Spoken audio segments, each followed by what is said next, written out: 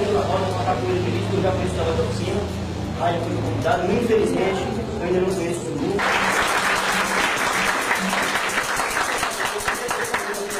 Já tem oito anos de capoeira comigo, né? O veneno de teu cotone.